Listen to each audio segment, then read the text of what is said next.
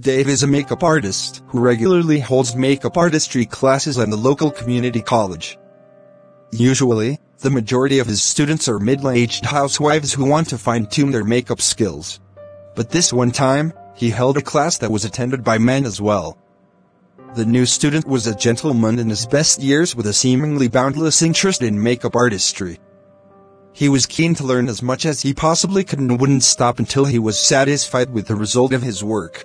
Understandably, the man was the number one subject of conversation when the other women were alone. Speculations quickly started to spread. Was he perhaps a transvestite? Why else would he attend such a class? The community college was placed in a conservative rural area, which is why the other participants were quite doubtful of the man's intentions.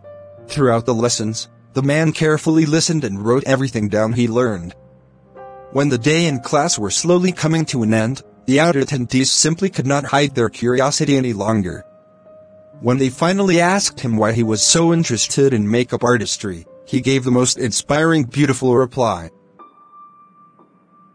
He said, you know, my beloved wife partially lost her eyesight because of diabetes. She's no longer able to apply her makeup.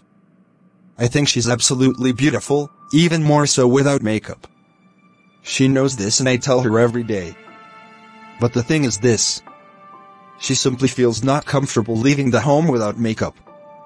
She never went outside without wearing any makeup up. Seeing the love of my life like this makes me really sad.